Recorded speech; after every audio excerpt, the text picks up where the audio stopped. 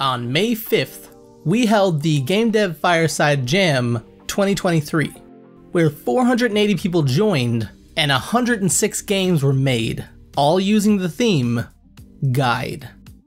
In this video, I'm going to show off the top 5 community voted games and the top picks from the judges.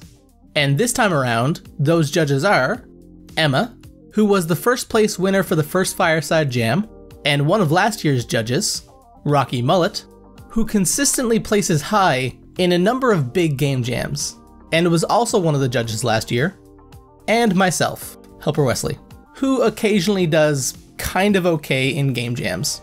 But I'm mostly just here to make the video. So let's get started with the fifth highest rated game in the jam. Mythical Tours, a game where you're a tour guide going through a gauntlet of mythical things with the goal of keeping your clients alive while taking snapshots of mythical creatures. At first, it took a little while to understand what I was supposed to be doing, but once you get into it, it starts to feel like a rhythm game with the added challenge of trying to take snapshots of these mythical creatures. And the game was made by Hetty06.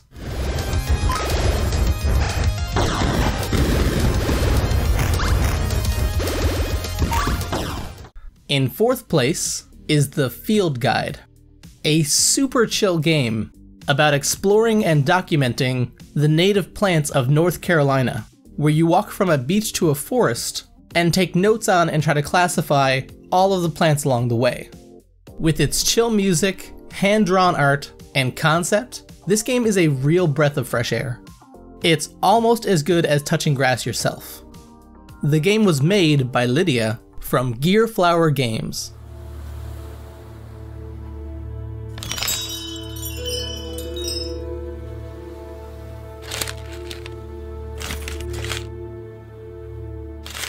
In third is Spirit Odyssey, where you embrace the role of a spirit guide as you navigate and lead lost souls back to their celestial homes. The game starts off with a single boat and some soft, chill music, but evolves over time with multiple boats and multiple homes to guide the souls to, and eventually goes from chill and relaxing to a real test of skill.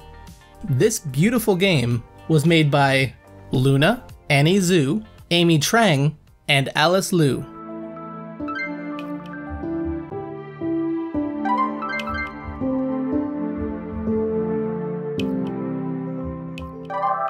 The game in second is called Whistle to the Summit, where you play as a young hiker who has stumbled upon a lost gooseling. And with the gooseling being too weak to fly, it needs your help to get back home. So you whistle as you go up the mountain in this puzzle platformer game to get the gooseling back to its home.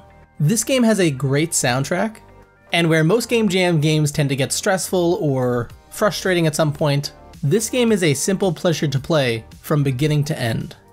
This game was made by AS Jam.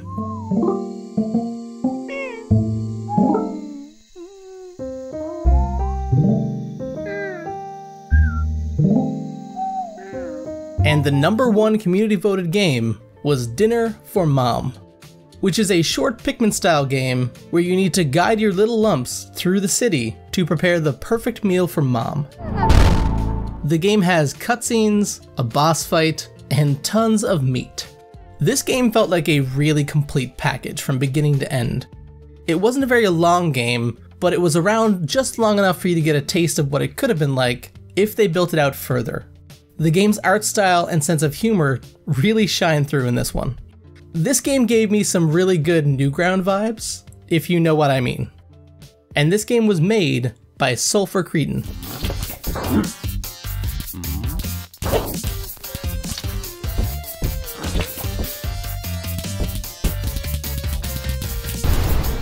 The links to those games will be down below.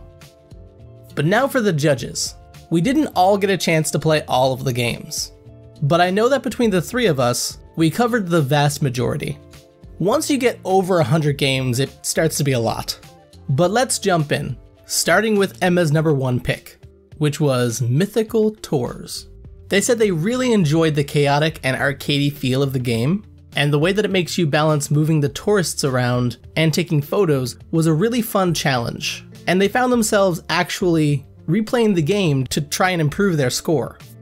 But Mythical Tours was already showcased in this video, so let's move on to their second favorite pick, which was Doggone Good Park Keeper, in which you follow a doggo named June on her first day as a park keeper.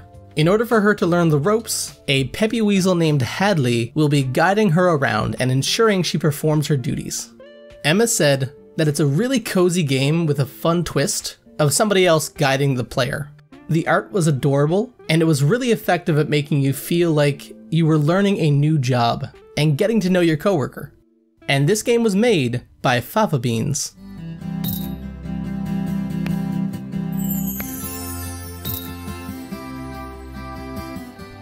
Next is Rocky Mullet's pick. Their number one pick was Dinner for Mom. They said the art and animation were fantastic, and the absurd humor was right down their alley. But just like with Emma, this pick was already shown off in the video. So we're gonna go to their number two pick, which was Don't Forget Me, which is a small puzzle game in which you have to guide an old woman through her last day. Rocky Mullet said, The gameplay is very simple, but the game has charm and a story that might make you cut some onions by the end.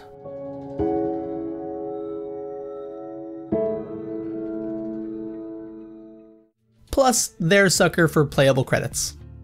And this game was made by the legendary Mushroom.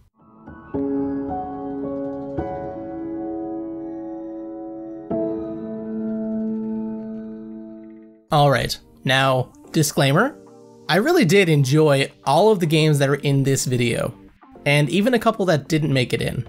But my number one pick is Oxygen, which is a simple path making game where you need to get the astronaut to the house at the end of the level. The game is by no means perfect, but it felt like whatever needed to be there was there, and if it didn't need to be there, it wasn't. The game is simple and well put together. And if this game worked on mobile, I could genuinely see myself playing this while on the go. The game was made by Vlad, Luke, and Nick.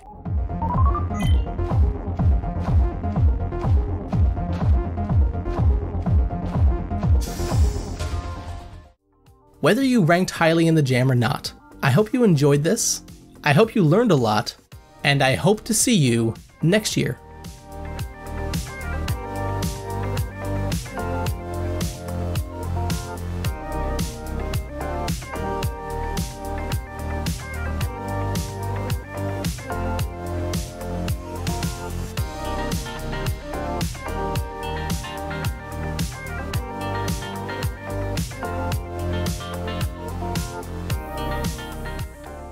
A huge thank you to my patrons. Because of them, my coffee cup is full. And as always, the links to the places that I hang out are down below, and if you decide to click on one, then I'll see you there.